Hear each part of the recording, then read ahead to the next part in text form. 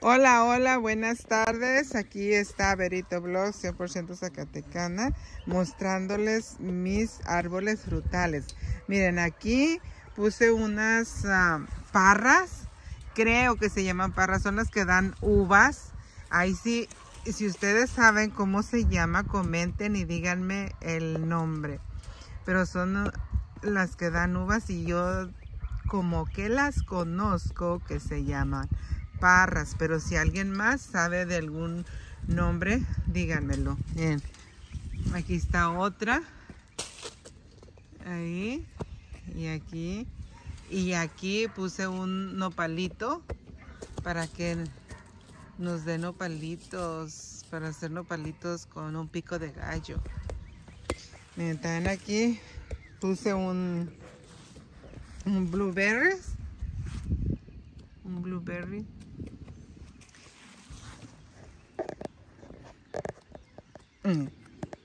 El fruto, blueberries.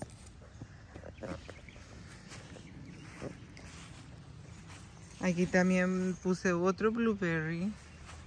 Y este también ya está más grandecito.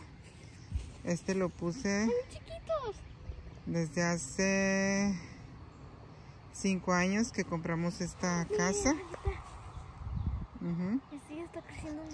Y este es un manzano. Ya está poniendo grandecito el manzano. Oh, oh. Y aquí está una higuera que dan higos negritos y, y, que son muy saludables. Es muy saludable comer higos. Así es que se los recomiendo. Para muchas enfermedades es bueno el higo.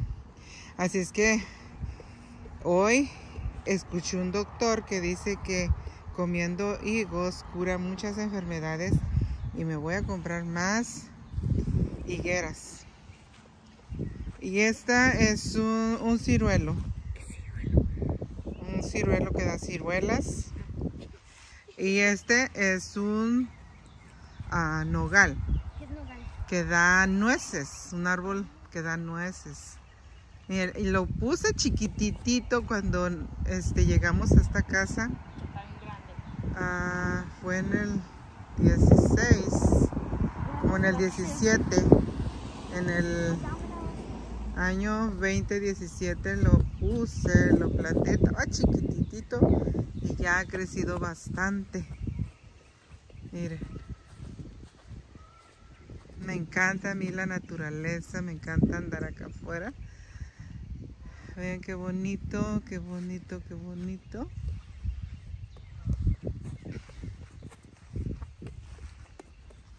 Así es que ahí uh, comenten y, y, díganme también cómo se pueden este, cuidar los árboles frutales. Porque el año pasado tuve que quitar un, uno de duraznos. Un durazno porque se llenaba mucho de plaga y yo no supe que ponerle que realmente uh, se fuera la plaga. Lo tuve que quitar. Así es que si alguien sabe qué se le pone a los árboles frutales para que no llegue la plaga, díganme, por favor, comenten. Miren, aquí están las parritas. Estas dan unas uvas grandísimas. ¿Y saben, cómo, saben cómo es que las uh, planté? Una amiga me regaló unas uvas que había traído de la ciudad de Atlanta, de un amigo que tiene un viñedo. Y le regaló uvas y ella me regaló uvas y están grandísimas y bien dulces. Y yo guardé las semillitas, las puse en una maceta y, se dieron las, las, uh, las parritas. Y miren, este también es un, aguacate. Lo puse aquí, también lo planté. Espero que se pueda este, lograr, pero no lo creo porque aquí en el estado de Tennessee es un poco frío y creo que los árboles de aguacate se dan en, en una tierra que no es tan fría. Así es que... Ajá. Miren nomás qué bonito salió el sol. Hoy fue un día lluvioso aquí en Memphis, Tennessee. Pero ya salió el sol. Miren qué hermoso está. A mí me encanta vivir fuera de la ciudad. Me encanta porque puedo disfrutar un poco del campo, de la naturaleza. Cuando nos despertamos, escuchamos los pajaritos, el canto de los pajaritos. A veces que le hablo a mi mamá, escucha los pajaritos. Mm. No sé si ahorita los, los logren escuchar. Y también lo que me gusta de vivir fuera de la ciudad es que no se escucha tanto las ambulancias, los carros que pasan y pasan, no, no escuchan los bomberos, Así es que eh, vivir fuera de la ciudad se los recomiendo. Uno vive más tranquilo. Uno va a la ciudad a trabajar, pero regresa a su casa con gusto porque ya va a descansar. Y más en esta temporada que está todo verde. Me encanta. Me encanta. Sí.